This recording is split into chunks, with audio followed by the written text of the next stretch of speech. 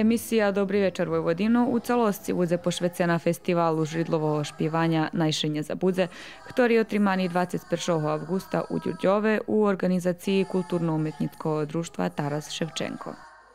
Dobri večer Vojvodino na štvartok na 20.